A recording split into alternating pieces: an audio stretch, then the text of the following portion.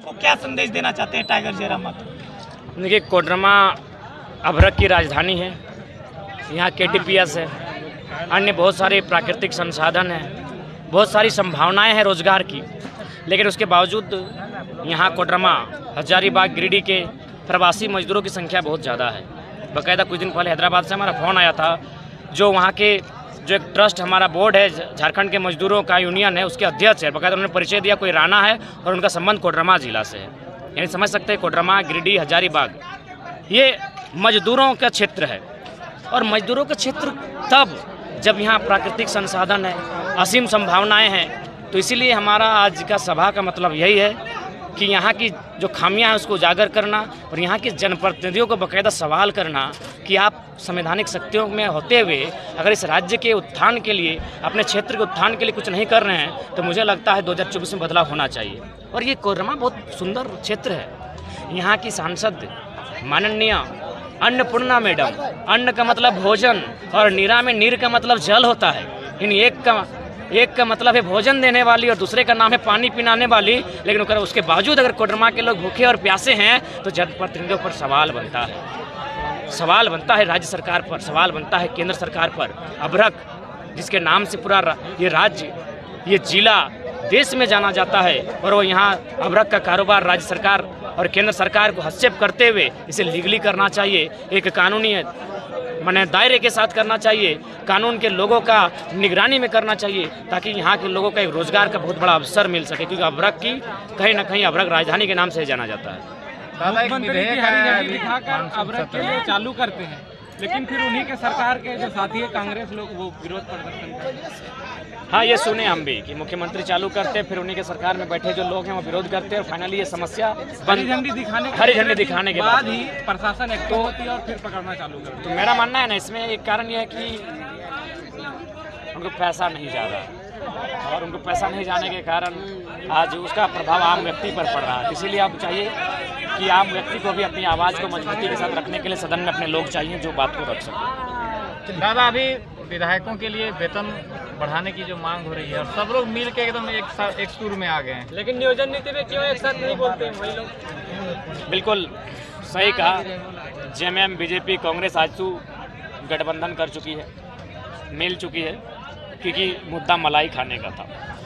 मलाई खाना था, इसलिए मिल चुकी है। अगर स्टूडेंट का मुद्दा होता तो ये दो फाड़ हो जाते। किसानों का मुद्दा होता, दो फाड़ हो जाते। रोज़गार का मुद्दा होता, ये दो फाड़ हो जाते। मलाई खाना है, बाकायदा सांसद विधायकों खाना है।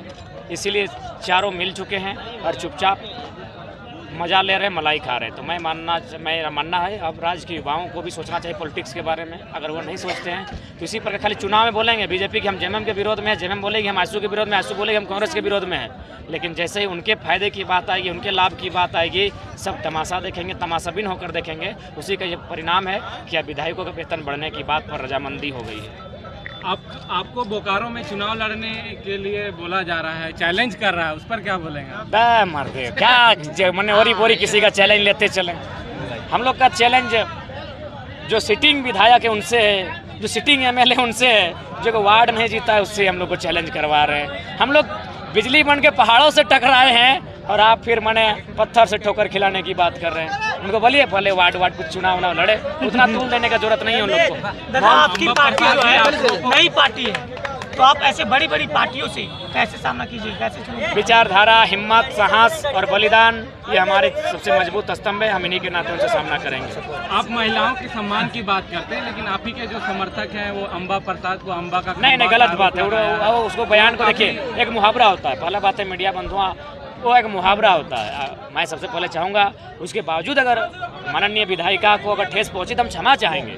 मैं बाकायदा चैनल के माध्यम से अगर माननीय अम्बा मैडम जी को अगर ठेस पहुँचा तो हम क्षमा चाहेंगे, क्योंकि हमारा पहला प्राथमिकता यही रहा है, वृद्ध, बीमार, विकलांग, बच्चे, महिलाओं का हम लोग व्यक्तिगत रूप से कोई टिक्का टिप्पणी नहीं करेंगे सदैव आदर करेंगे। उनकी नीतियों की अवहेलना करेंगे आलोचना करेंगे। तो वो जो तर्क दिया गया होगा चूँकि हम अभी तक सुने नहीं है हमको भी सुनी सुनाई बात सुनने मिली है तो उसका हम साथी से पूछे बकायदा जिनके मुख से बयान निकला था बोला नहीं नहीं मेरा कहने का ऐसा कोई मतलब नहीं था। तो लेकिन उसके बावजूद भी क्षमा चाहेंगे अगर उनको ऐसा फील हुआ तो माफ़ी चाहेंगे। मानसून सत्र में एक नया विधेयक आया है देखिए इसको पढ़े नहीं अगर आप पढ़े हैं तो कुछ बताएँगे हम बात करेंगे। टाइम कहाँ मिला? जब से बिल आया देखिए रहे आज कोडरमा में है। बारह बजे, दो बजे रात घर पहुँचेंगे, तीन बजे सूतेंगे दस बजे उठेंगे, एक बजे मुँह धोएँगे। ज़िंदगी हम लोग का, अरे लोग संघर्ष करता है ना तो एगो सबके को सीमा होता है। हम लोग समय को बदल दिए, इस बात को कोई मानेगा नहीं। समय सुतने का होता है ग्यारह बजे हम लोग सुतते हैं तीन बजे यानी पूरा एगो समय को ही बदल दिए भोजन करने का टाइम होता है सात आठ बजे हम लोग पहला भोजन एक बजे करते हैं तो सो प्लीज़ टाइम नहीं मिला है दादा आप ही का आंदोलन का ये असर है जो अभी सत्र आया है उसमें बोला जा रहा है कि जो छात्र आंदोलन करे उसे जेल में डाल दिया जाएगा ऐसा ही कुछ अच्छा ठीक है मुझे लगता है तब लाइब्रेरी से ज़्यादा छात्रों की संख्या जेलों में होगी छात्र तो बोलेंगे अगर आप गलत नीति लेकर आएँगे तो छात्र बोलेंगे कई लोगों का कहना है है इतना तेज कैसे हो सकता है? इरफान अंसारी जी का बयान हम नहीं सुने हैं सुनेंगे तो बाकायदा टिप्पणी करेंगे।